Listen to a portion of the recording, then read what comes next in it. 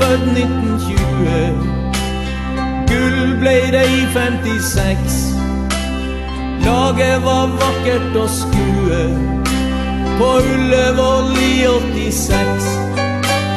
TIL har en plass i vårt hjerte, flaggskipet her i vår by.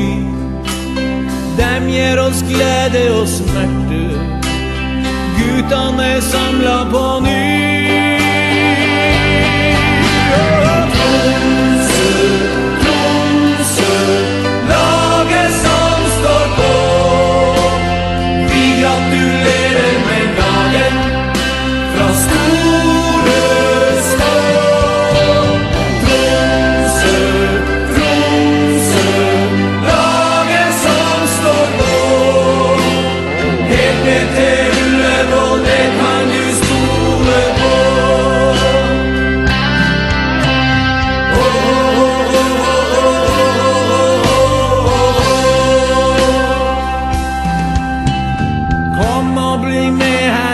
Her. Isberget smelter for dem når dem har gullet rundt halsen.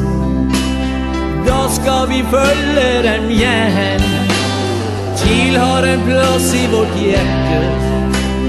Tøffeste laget i nord. Dem gir oss glede og smerte.